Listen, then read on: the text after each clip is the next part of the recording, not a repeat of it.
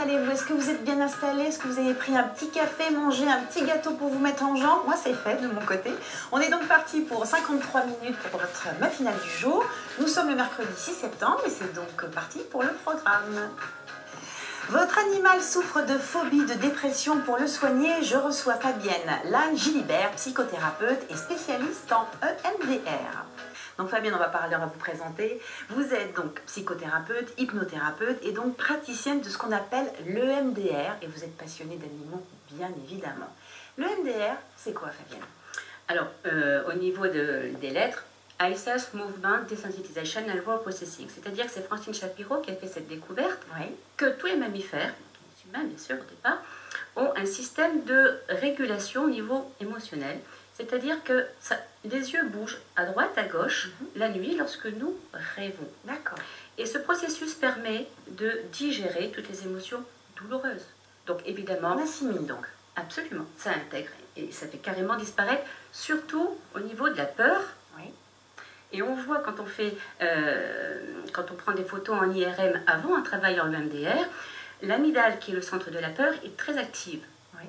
Après un travail en EMDR, on reprend des photos en IRM, plus de traces au niveau de l'amygdale de la peur. Et donc vous vous êtes dit, euh, les animaux, et je me suis dit, les animaux étant des mammifères, pourquoi ça ne marcherait pas? Et donc ça marche. J'ai observé mon chien qui avait peur du tuyau d'arrosage dans mon jardin. Alors bon, c'est embêtant de vouloir arroser ses fleurs et le chien il part rapidement à la maison.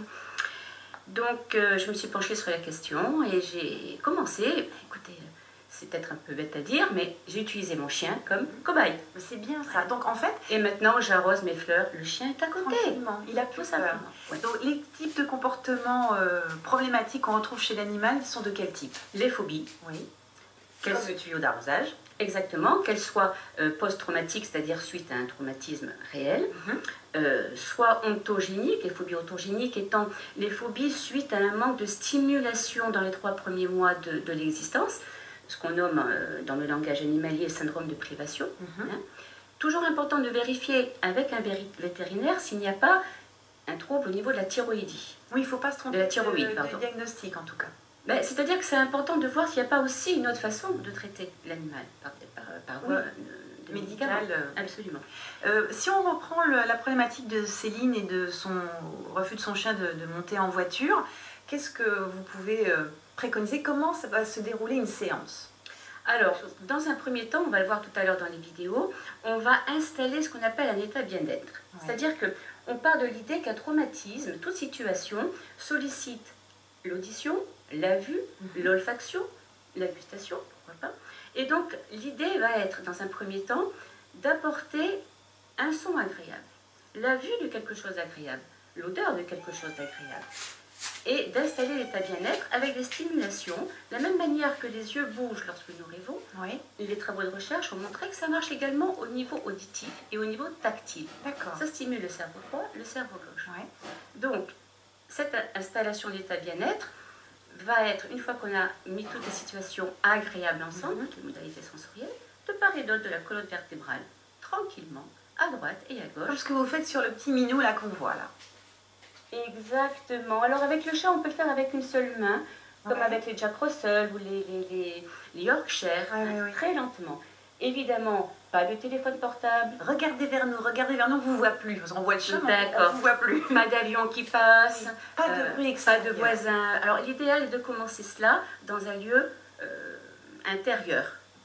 Au calme. Tout à fait. Ça, tout le monde peut le faire. Oui.